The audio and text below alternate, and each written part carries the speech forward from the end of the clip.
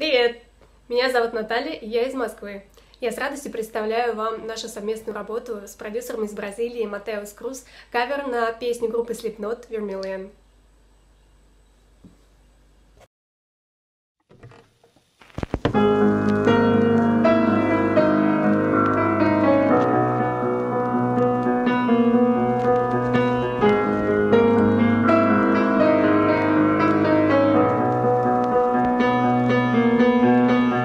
Interest in all of me.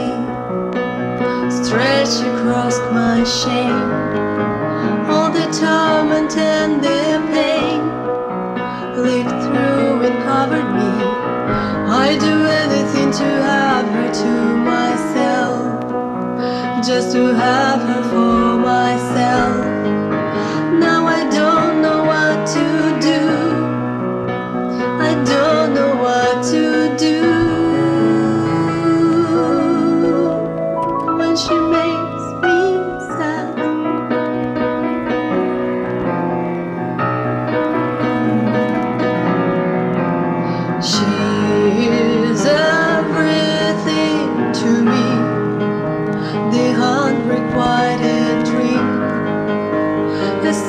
that no